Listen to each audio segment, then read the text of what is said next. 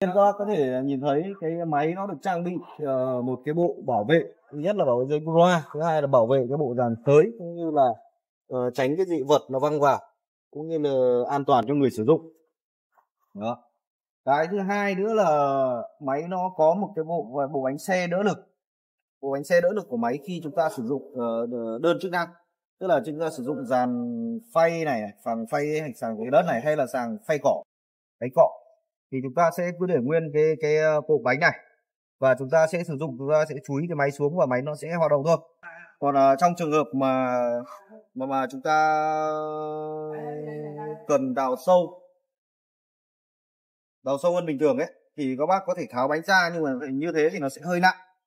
Đó uh, cái này là do cái quá trình sử dụng thôi. Các bác uh, sẽ tự uh, tự, tự, tự uh, nghĩ ra cái cách làm nó thông minh thôi đó còn uh, tổng quan của máy thì nó cũng giống như những cái máy mà gần đây em ờ, mới lên video cho các bác xem.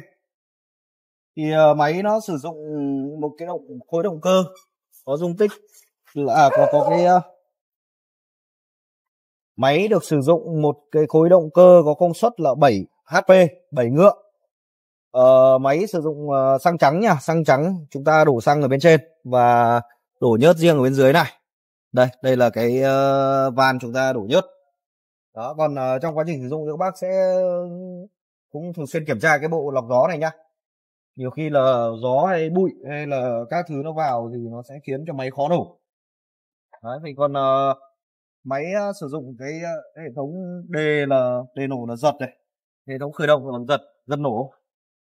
Đấy thì cái bộ giật của máy ở bên này. Đây. Giật rất là nhẹ thôi máy những cái máy đời mới này nó đều có cái bộ gọi là trợ lực ừ, khi chúng ta giật rồi. Đấy còn ờ, cái bộ mấy bộ chức năng này.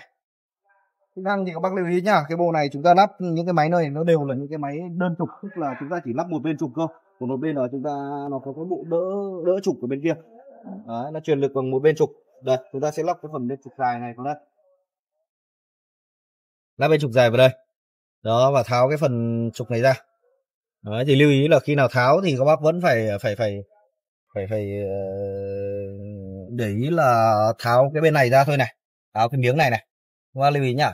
Bên này cái miếng này nó tách rời thì các bác tháo cái miếng này ra là chúng ta thay những cái bộ này nó rất là dễ thôi. Đó. Còn cái chức năng phay cỏ thì nếu mà các bác cần phay cỏ thì các bác chỉ có tắt cho em cái này vào thôi. Cái bộ bánh phay cỏ này vào thôi. Đó chứ không cần lắp cái bộ lên luống. Lên luống đừng nói vào. Tại vì nói vào như thế nó bị rồi rồi. Đấy, còn uh, khi nào mà chúng ta sử dụng cái chức năng lên luống này thì chúng ta sẽ phải lắp cả cái bộ đánh cỏ này vào bởi vì lúc đấy cái bộ đánh cỏ này nó sẽ có mang cái cái, cái chức năng nó là cái bánh lồng. Đó để chúng ta đi và chúng nó kéo nó không bị uh, bị, bị trượt bánh không bị trơn. Đó.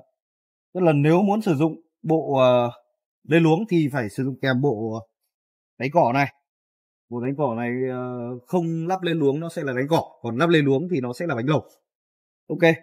Đấy về tổng quan cái máy thì uh, à quên. Đây còn còn uh, cái phần chức năng này nữa. Ta có thể thấy uh, máy ở trên uh, thân máy nó có bộ tắt mở này. Muốn khởi động là chúng ta bật on chúng ta giật nổ còn lúc nào tắt thì ọp là xong. Đấy còn uh, bên uh, tay phải đây là cái dây ga. Cái uh, cái cần ga này. Tăng giảm này. Chúng ta phay nhanh hay phay chậm này đó. Còn cái uh, bên dưới này thì nó cũng là cái ấy thôi cái bộ uh, tăng giảm cái uh, độ cao của cần đây các bạn bóp này. Đó. Đó tùy theo chiều cao của người sử dụng mà chúng ta sẽ dùng cái cần này để chúng ta tăng giảm. Con này thì nó chỉ có một nó không dùng hộp số mà nó truyền lực trực tiếp ở động cơ nên là chúng ta ga mạnh thì nó sẽ phay mạnh và chúng ta ga yếu thì nó phay yếu. Nó chỉ có tốc độ theo động cơ thôi thì nó không có cái bộ hộp số. Như những cái máy trước đây mà em đã giới thiệu cho các bác. Thì máy ờ, cơ bản là nó lắc hoàn thiện đây rồi. Về các bác chỉ cần ờ, điều chỉnh lại cái cần của máy một chút thôi. Vì cần khi mà vận chuyển ờ, bọn em phải tháo cái gầm ra cho nó gọn. Đấy còn uh, có cái uh, cần các bác cần biết thêm những cái thông tin chi tiết gì thì các bác có thể liên hệ theo cái số điện thoại hiện trên màn hình. Đấy còn uh, bác nào mua hàng thì cũng cứ chủ động gọi giúp uh, bên em rồi xin chào và hẹn gặp lại các bác trong những video lần sau.